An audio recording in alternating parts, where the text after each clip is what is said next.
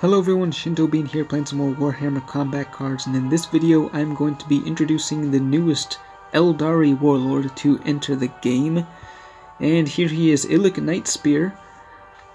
Looking at his stats here at level 2, uh, he has all ranged upgrades. So he starts off pretty weak, at 24 points he is one of the cheapest warlords.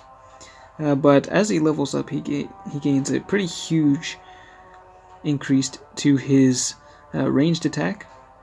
And he is the second warlord and second card in the game actually to get the Dead Shot trait, uh, which is a better version of target acquired, allows you to lock onto the enemy warlord.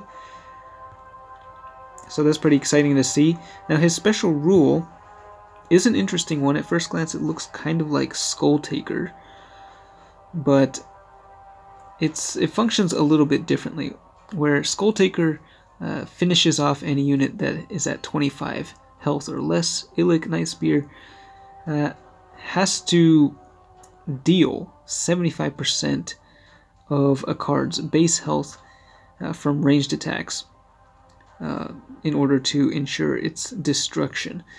So this creates an interesting rock, paper, scissors type effect where uh, the this special rule is actually really good against certain warlords like uh, Greyfax and uh, Rakarth and also Magos Dominus, who are all able to increase the health of their bodyguards, but that doesn't change their base health.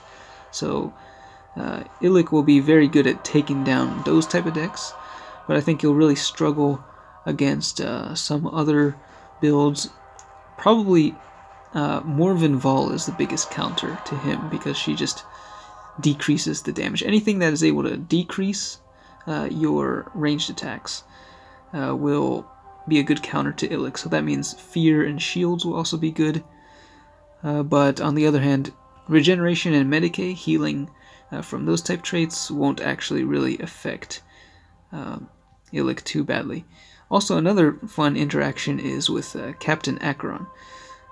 Now, Skulltaker is able to sort of counter uh, Acheron's Iron Halo as long as your card deals uh, enough damage, enough to overkill the enemy. And Illic's special rule also functions the same way. If you uh, deal at least 100% of uh, the card's health in one turn, uh, you can actually destroy that card, even if it would normally have gotten saved by the Iron Halo. So anyway, that's a lot of talk about the uh, the mechanics of the special rule, but let's uh, look at the bodyguards that go well with him. I think, I mean, obviously you want to use your ranged bodyguards, and Aeldari have quite a few cards that can boost uh, the ranged attack or have an additional ranged attack through the precision shot. So I've got uh, cards with outflank in here. Uh, the Scourge is a nice glass cannon, and the Crimson Hunter is an obvious choice.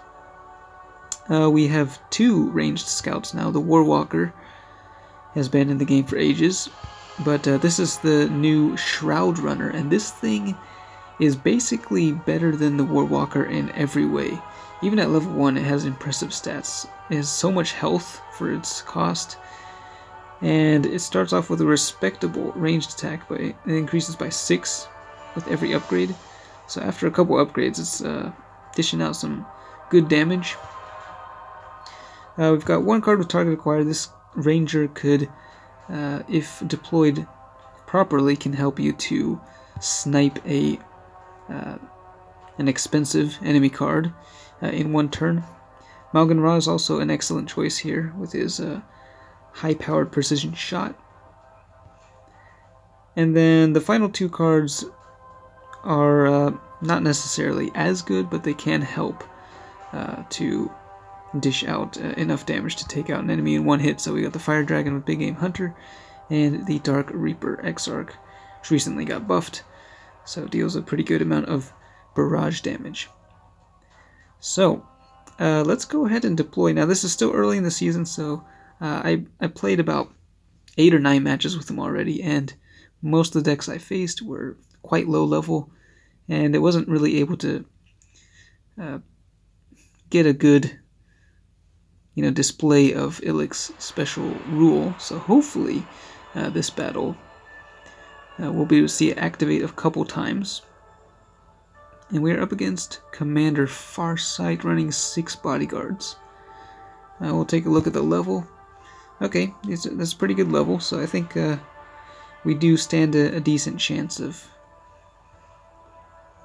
blasting some of these guys into oblivion with the uh, whatever his sniper rifle was called. To take a look at the uh, the back here, the Void Bringer is what it is. The um, the special rule looks amazing. I will say that much. Uh, let's see, what do we want to go for here? So, one of the tricky things I found with him is it's actually surprisingly hard to actually get the special rule to trigger. Because a lot of the time, uh, with the amount of ranged attack that I'm dealing with these with all these buffs, uh, I would actually be destroying these cards anyway, even without uh, the help from the special rule. So that's kind of the, the tricky part. So I think we will see it activate uh, once here, probably uh, with the Shroud Runner here on the right side. Yeah, so normally that would not be able to kill the drone uh, in one hit, but in this case it will.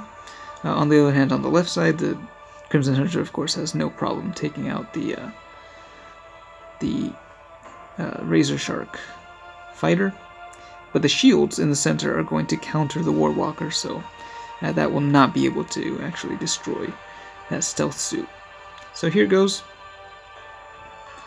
And you'll see one instance here of the the Voidbringer. Pretty amazing looking special rule. I'm really happy with that. It very satisfying when it does activate.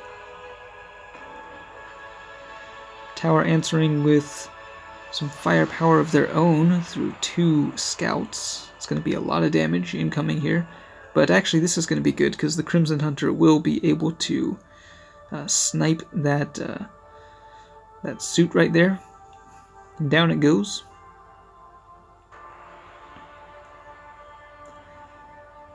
And it looks like uh, the, the stealth suit there was taking a little bit of damage. So now they do have a, a big uh, old card on the field, and at this point, we're kind of uh, in a rough spot because uh, I can't actually kill anything. And with the counterattack, they're just going to wipe everything out pretty much. But I think that will leave me in a position to at least uh, destroy them on the following turn. Uh, but we won't actually really be able to see Illic's special rule here, unfortunately. I'm just not dealing enough damage in a single turn to destroy anything. So it is a little bit trickier to pull off than you might expect.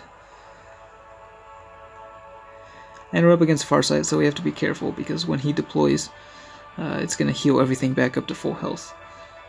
So let's see here. I think we'll drop an outflank.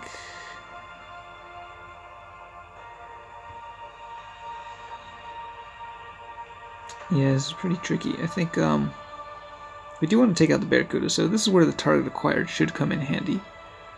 And then, yeah, we'll go with over here on the right side. Uh, the target acquired will guide the precision shot into the Barracuda. So that thing should go down without any issues. And the outflank just reduced the damage overall, although they took out the Scourge. So again, we weren't actually able to see uh, the special rule go off at all. And let's see, Farsight, how much damage is he going to be dealing? I guess we can go with the Fire Dragon, maybe? Or do we want to save that for later? Maybe we'll just drop this thing down for now.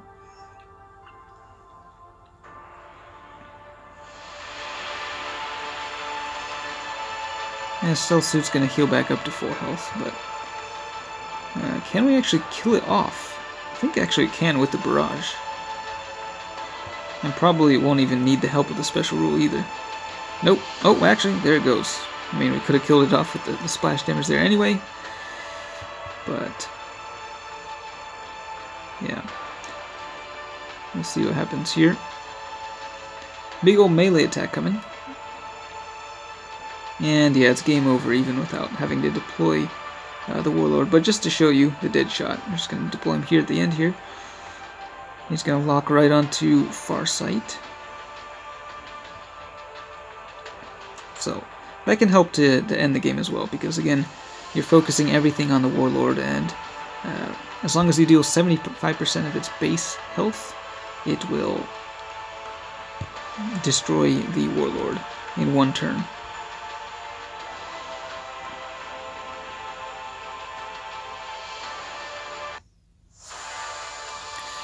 Alright, so that's a first look at the new Aeldari Warlord. Uh, he's His special rule is certainly not as reliable or quite as easy to use as the other ranged Warlord, uh, the Zephyr Blade. So I think the Zephyr Blade will still be easier uh, for just easier in general to use and a, a little bit more flexible, but Nightspear is a, a fun option. I do I do like the special rule. Uh, it's going to take some getting used to, I think, but especially once he starts to go up levels, though, he will become quite a bit more powerful himself, especially with that dead shot. So, looking forward to seeing what that can do, and also at the Shroud Runner. This, of course, would work well with um, Zephyr Blade, but yeah, this is just a crazy card, almost to the point that I wonder if they made a typo in like entering the amount of health that this thing has, because that is that is a lot. But very cool looking model. Uh, let me know what you think of this new Warlord. Uh, I have a pretty positive first impression, but I've seen other players saying that uh, they think it'll be pretty hard to use. So uh, let me know what you think. That's it for this one. Thanks for watching, and I will see you next time.